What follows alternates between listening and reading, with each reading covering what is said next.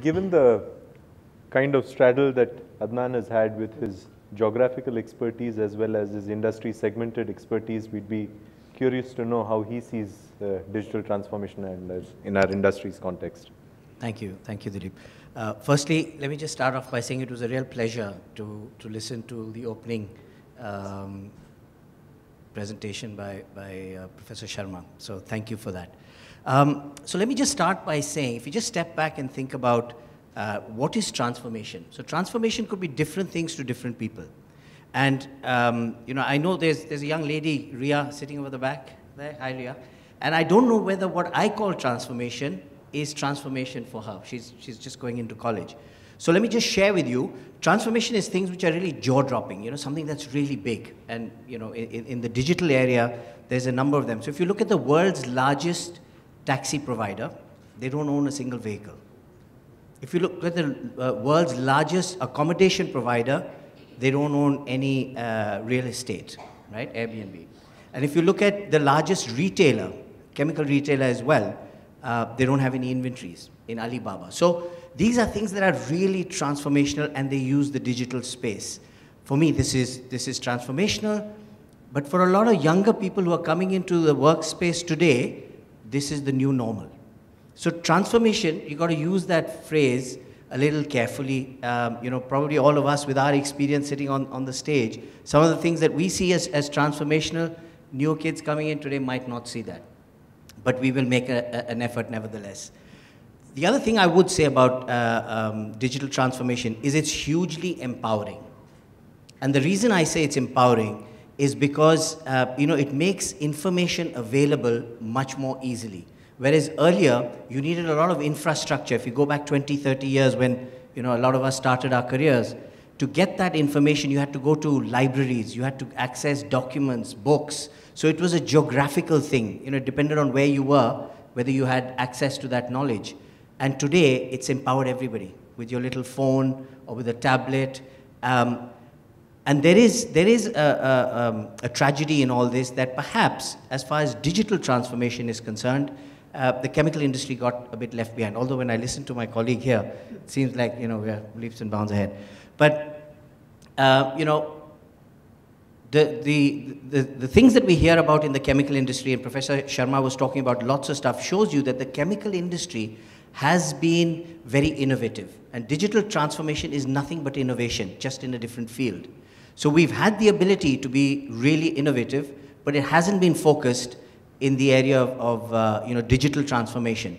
And there are now um, you know, lots of efforts to do that. And I'm really delighted to be here today because of the product that you know, uh, Dilip and Puneet are putting out is just one glimpse of that, of empowering more and more people, just making it a level playing field, whether you're a big organization or small, you're a small customer or, or a big institution, doesn't matter because it's just a click away. So those are the kind of things that I think, uh, you know, just make the industry richer, just make society richer, when you can use uh, digital transformation like that. So in Clariant, there are some examples as well. Um, you know, I've seen uh, some of the stuff that we've done on production, production management systems, where you've got ERPs that are, um, you know, closing the gap with shop floor, shop level uh, processes and so on, helping us manage complexity that in the past we couldn't have imagined at the efficiency that we can do today, giving us the quality expectation that we can have today, which would have been a real struggle maybe 20 or 30 years ago.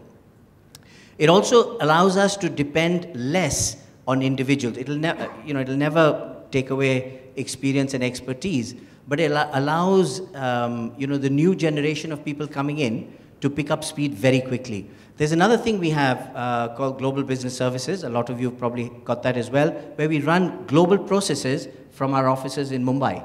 And it's magical when you see that. I mean, you know, somebody's doing a transaction in one corner of the world, and we've got these, these people sitting in Mumbai uh, managing the whole, the whole thing. And it, it ensures that you know, you need to train just a small pool of people in one location rather than all around the world. Every time you want to roll out a change, you do it with a small group of people. So the whole management of change becomes simpler. And it is a bit transformational. I mean, it's a bit like your two and a half hours going to one minute kind of thing, where, you know, you'd have to travel the world to, to train people. And now you just walk into one room, do it there, and bang, the change happens. So, you know, these are things that, that allow us to move forward uh, as well. And I'm tempted to share with you uh, an example from a previous life uh, in another company on road safety, where um, you know we did this. It was in India, and we did journey risk management and so on. So as far as the driver was concerned, the driver was absolutely clear. He knew which roads to take. He knew what the hazards were. You know, lights would would pop up, which would tell him. So he knew when to slow down. Um, you know, he knew when he'd driven four hours, then he needed a break.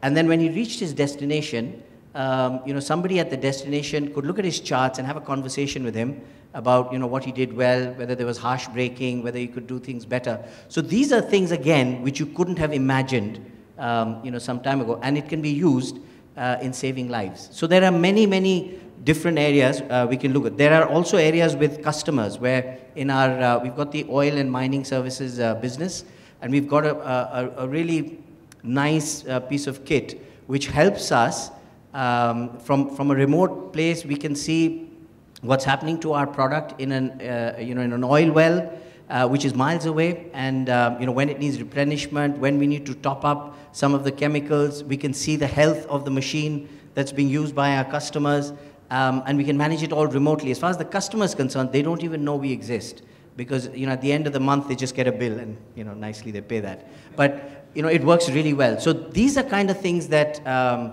you know, our industry is doing, but I think we have a long way to do, uh, go, to go, a lot of catching up to do. So when I finish, I just want to share with you a story that I, I heard from uh, somebody called Sai Kiran from Flipkart. He, he was the supply chain head there. And he was sharing an example uh, on how Flipkart actually transformed, the, the, changed the paradigm for e-commerce in the country. So the postcodes that are used in India, now forget about the cities, but in the larger uh, uh, landmass of this, of this country, the postcodes uh, are rubbish. They, they just don't work. And Flipkart had to remap them. You know, they've remapped them all across the country. And they've even uh, allowed things like, um, you know, when you order something, your address could be platform number one of station such and such, this telephone number, I'll be there in five minutes. And that's acceptable. So it's a changed paradigm. And I think the learning for me there was, you know, when you want to introduce transformation, digital transformation, don't use the environment as an, as, a, as an excuse. Because when you hear people like this and you hear about innovative ideas, I think anything is possible. And that's a big learning for us. Thank you. Okay.